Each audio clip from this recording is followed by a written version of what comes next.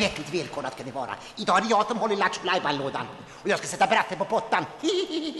Hur då undrar ni? Jo, det här är ju leken. Det är en av fyra ska bort. Men de här djuren, då tar vi bort, bort, bort, bort. Och istället så plockar vi fram Albert Einstein. Men titta, så vansinnigt begåvat att underbart trevligt. Och här då, Pablo Picasso.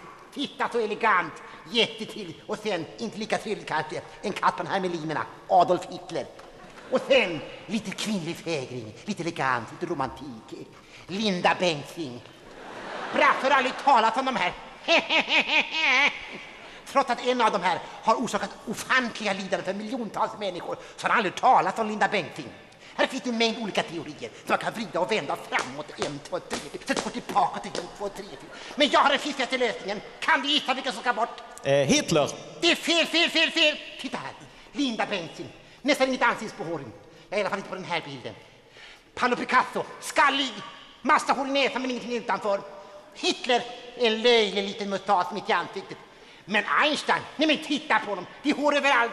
Han ser ut som skrev på en bulgarisk kulstötare. Nu ska jag hämta Bratt och Eva. Det kommer de aldrig klarat. Det kommer de aldrig att klara. Det kommer de aldrig klarat.